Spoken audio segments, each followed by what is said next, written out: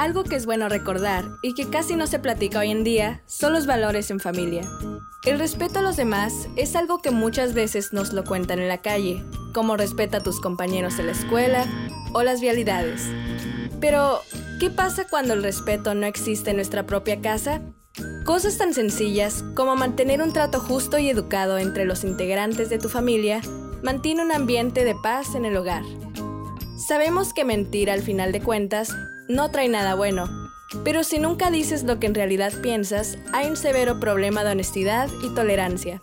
Confiar en las ideas de los demás es creer que al final, el bienestar de personas tan cercanas como tus familiares se encuentra la felicidad para ti y para ellos.